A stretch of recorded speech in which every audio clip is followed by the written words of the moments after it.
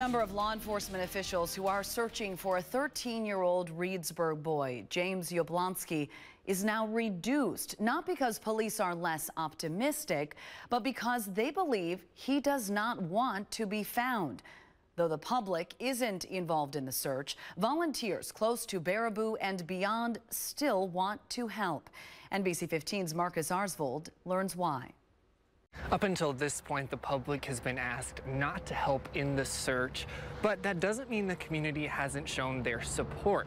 I spoke with two organizations who sent volunteers out here to try to help people find James. It's thousands of acres that most people will never see. They'll never get more than a couple hundred yards, you know, into the woods or anything like that. So when you're actually walking through the bluffs and you're seeing the rocks and you're seeing how thick it is, it's tough sledding out there. Jacob Franson manages Sky High Fruit Farm in the Baraboo Bluffs. Since the public isn't supposed to search the rough terrain, his team figured they'd serve coffee and breakfast for those that can. When there is something going on, we all know the rough area where it is, and we all have idea who lives around there. So we just want to help out however we can.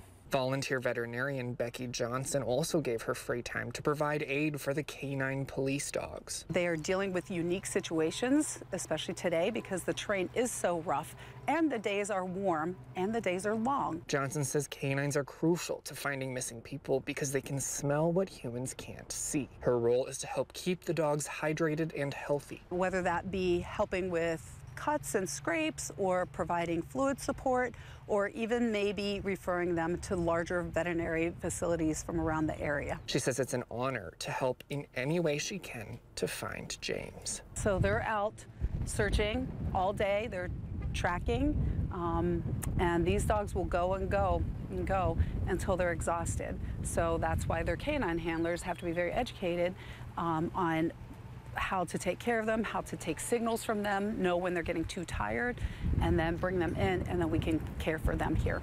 Law enforcement officers say the community support has been truly crucial. They've had two injuries during this search because the terrain is so rough and due to the heat, so it's extra helpful to have people supporting them. For now, in Baraboo, Marcus Arsvold, NBC 15 News. Now, the Sauk County Sheriff's Office confirms they found a second campsite with a jug of water, socks, and something that holds a knife that could belong to James. Having found more evidence suggesting the 13-year-old is trying to live as a survivalist in nature, police believe he is trying to evade their search efforts. Starting tomorrow, fewer officers will be out searching for the Reedsburg teen. We feel like our added presence at this point could continue to just push him further and further away. And that's what we're taking into account with the, uh, the change that you may see behind me now with the lack of squads. Police believe James is alive and has access to food and water. As of now, they plan to continue the search through the weekend and into next week.